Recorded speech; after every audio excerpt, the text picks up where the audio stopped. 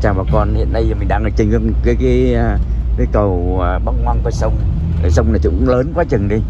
À, thành ra mình không biết cái à, hiện tại mình không biết là là cái cái à, cầu à, cầu An Hảo. Của gì? Cầu An Hảo. À, cầu An. Hảo. Cầu An Hảo ở cái dòng sông Đồng Nai à, từ biên hòa thành ra à, thấy nó cũng đẹp đẹp thì mình quay cho bà con thấy chút chút nha thì à, ban đêm thấy cái cái đèn ở Việt Nam giờ người ta bắt mấy cái hình ảnh để à, làm cho cái cầu nó nổi bật lên để à, vừa đẹp thành phố vừa à, được đẹp mắt du khách nữa. Đó giờ mình băng qua cầu nữa thì không còn thấy đèn đóm gì à, trưng bày nữa. Thì Ồ, đám kia đám kia cái gì mà sáng trưng này để mình đáng chút xíu nữa coi. À, cái đó hình như là thành phố à, à đèn, đèn, đèn sáng sáng đó hình như thành phố hay gì đó. Rồi biểu cái này giờ ngã ba. Một cái một cái đi biên hòa cái ngã tư đi vũng tàu. À, ở việt nam mình thấy chỗ nào mà có hàng quán á, thì thường người ta ờ, bắt mấy cái cái, cái cây ờ, người ta dăng đèn trên đó coi cũng đẹp mắt lắm để cho du khách biết coi như ở nơi đó có hàng quán. Ồ như vậy ở đám xa xa mình thấy mấy cái đèn là, là cái mấy cái quán bà con à thì mình tưởng cái thành phố gì á thực ra là cái cái ờ, cái đèn của nhà hàng thôi thì coi như ờ, mình dân ờ, nơi khác mình về thì thấy cái cảnh khác lạ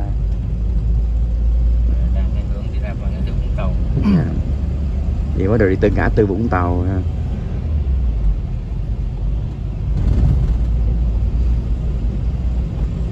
À, khi mình ra miền Trung á, thì ở Đà Nẵng cũng như ở Nha Trang à, rồi Quy Nhơn đó người ta bắt đèn à, cho du khách tới tham quan à, về ban đêm. Rất rất là đẹp bà con. Thì à, cái hàng quán ở nơi đó cũng vậy. Rồi đường xá người ta cũng bắt đèn này kia nọ.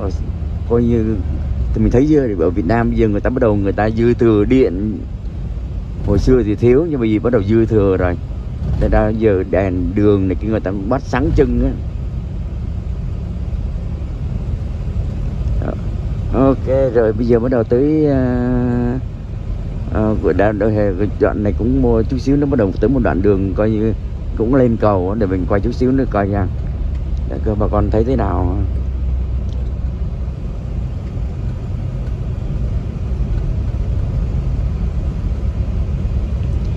Cái à, đám này nó chia làm ba len.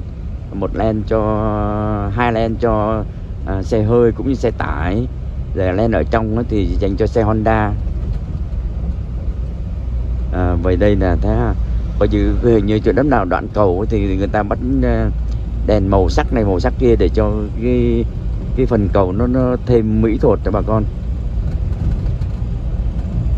Để cái dòng sông này à, dòng sông gì thì mình không biết nữa đó, thì à, sông ngòi ở Việt Nam tương đối rất là nhiều nhất là ở miền Tây á, đi chút nào cũng thấy sông không à.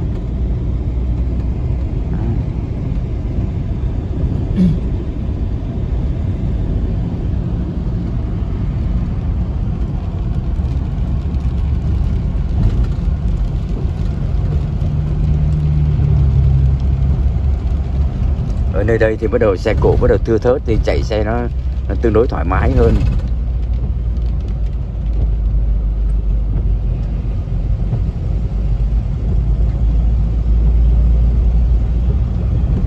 Đó như cái nhà hàng này không? Người ta bắt đèn này kia cái nọ.